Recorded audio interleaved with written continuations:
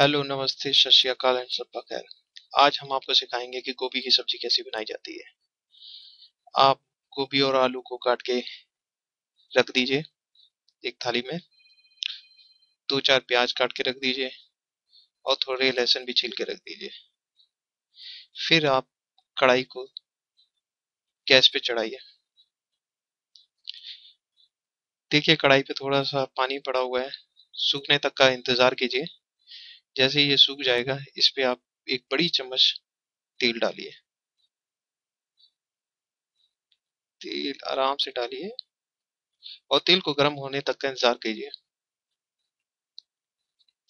ये सब्ज़ी जो हम बनाने जा रहे हैं, ये रसीली सब्ज़ी होगी, आलू, टमाटर की और गोभी की। देखिए, तेल गर्म हो रहा है। इसमें जीरे मिला दीजिए। जीरी मिलाकर फिर इसे थोड़ी देर तलिए, जब तक कि ये लाल ना हो जाए। प्याज और लहसुन को बिल्कुल तैयार रखना। जैसे ही ये लाल होता है, तब प्याज और लहसुन को आप इसमें कढ़ाई में डाल दीजिए। इसको लाल होने तक इंतज़ार कीजिए। ये सब्ज़ी हम थोड़ा अलग तरीके से बनाएँगे। इसमें जो मसाला होगा, वो अलग तरीके से बनेगा, ताकि सब्ज़ी का स्वाद कुछ अलग ही आपको आएगा, स्वादिष्ट। इसको देखिए, ये लाल हो गया है, करीब करीब। अब आप इसमें प्याज और लहसुन डाल सकते हैं।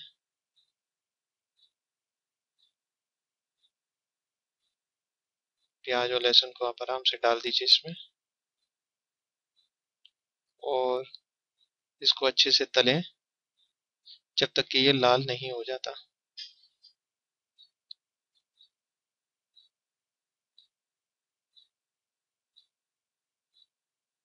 आराम से तलिए। जब तक ये लाल होगा, तब तक हम मसाला तैयार कर सकते हैं अलग से। मसाला तैयार करने की विधि थोड़ी अलग है। इस पर मसाला हम एक कटोरी में तैयार करेंगे। एक कटोरी ले लीजिए आप। छोटी वाली। और इसमें सारे मसाला डाल के इसे मिक्स कर दीजिए। इसमें आप मिर्ची डालिए। इसको भी आप साथ ही साथ तलते जाइए ताकि ऐसा ना हो कि ये जल जाए जब तक आप अपना मसाला तैयार करें। ये देखिए तल रहा है वहाँ पे। अब मसाले में इसमें एक चम्मच मिर्ची डाल दीजिए। ये देगी मिर्च है। एक चम्मच। धनिया डाल दीजिए एक चम्मच। थोड़ी सी हल्दी डालिए। और थोड़ा सा गरम मसाला डाल दीजिए। फिर इसे आप पानी में मिलाकर अच्छे से मिलाइए। नमक भी आप डालिए इसमें, अपने अनुसार आप इसमें नमक भी मिक्स कर सकते हैं। जितनी जैसी ज़रूरत है उस हिसाब से नमक डालिए।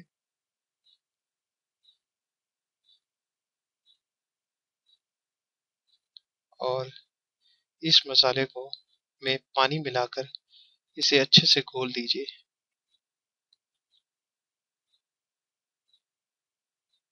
जब तक आप घोलेंगे इसे और आप देखेंगे कि आपका प्याज और लहसुन भी लाल हो चुके होंगे, तल चुके होंगे अच्छे से। तो आप जो ये मिक्स किया हुआ मसाला, आप फिर उसमें डाल देंगे कढ़ाई में। देखिए आपके प्याज, लहसुन बिल्कुल लाल हो गए हैं। ये मसाला आप इसमें डाल दीजिए। क्योंकि मसाला जितना अच्छा बनेगा, सब्ज़ी आपकी उतनी अच्छी होगी। तो मसाला बहुत अच्छा बनना बहुत ज़रूरी है। फिर तेल को अच्छे से पकने दीजिए। इसे 10 मिनट तक कम से कम इसे आप करिए। 10 मिनट तक देखिए, ये पक चुकी है। इसमें और पानी मिलाइए, क्योंकि हम रसीली सब्ज़ी बनाने जा रहे हैं तो पानी हमें ज़्यादा डालना ही पड़ेगा। इसको 10 मिनट और इसको उबलने दीजिए, तब तक आप टमाटर काट सकते हैं। ये देखिए, पाँच मिनट हो चुके हैं, ये उबल रहा है, तब तक हम अपने टमाटर काट के रख लेंगे। टमाटर को छोटे छोटे टुकड़ों में काटना चाहिए, ताकि वो अच्छे से पक सके सब्ज़ी के साथ। छोटे छोटे टुकड़े करिए, ज़्यादा बड़े मत कीजिए, वरना टमाटर कच्चे रह जाएँगे। बिल्कुल छोटे छोटे टुकड़े में काट दीजिए सारे टमाटर। और देखिए, पाँच मिनट बाद आपकी मसाले को पक चुका है। और आप इसमें सब्ज़ी मिला सकते हैं। देखिए, एकदम अच्छे से पक चुका है ये मसाला। देखिए। अब आप सब्ज़ी को मिला दीजिए इस मसाले में।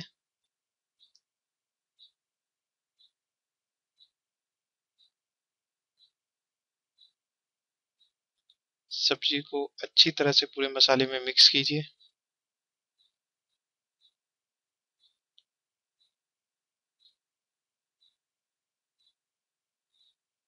कोई भी कहीं छूट ना जाए, इसे एकदम अच्छी तरह से पूरे मसाले में मिक्स कीजिए, क्योंकि ये मसाला ही सब्ज़ी को स्वादिष्ट बनाएगा।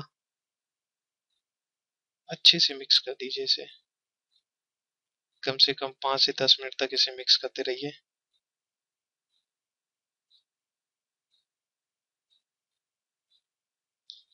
क्योंकि ये हम रसीली सब्ज़ी बना रहे हैं तो इसमें हमें पानी, जैसा मैंने पहले भी कहा कि पानी हमें मिलाना ही पड़ेगा।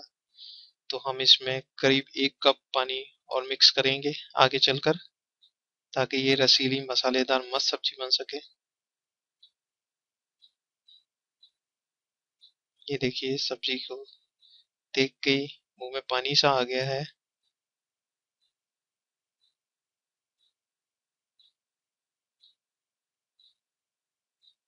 इसको अच्छे से अच्छे से मसाले में डालिए, डुबोइए सब्जियों को, गोभी को, आलू को।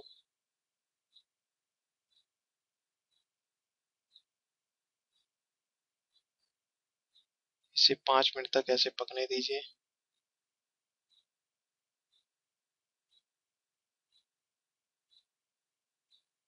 पाँच मिनट बाद ही इसमें आप पानी मिक्स करना।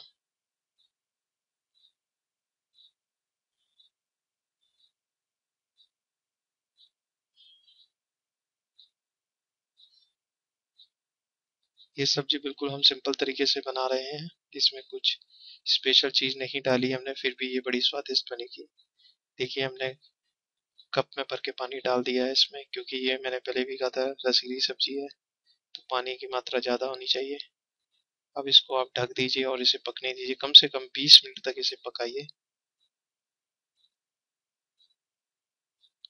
कम गैस करके।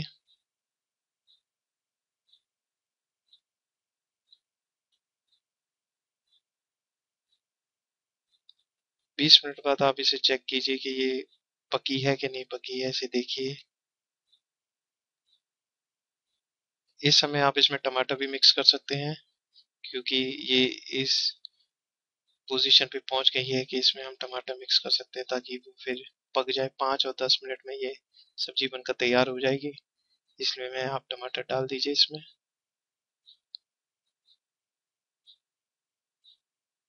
ढक के रख दीजिए।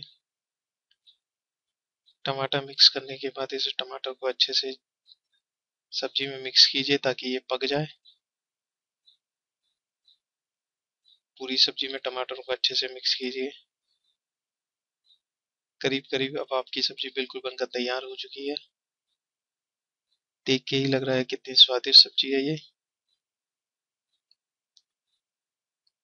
और ये पक भी चुकी है अच्छे से।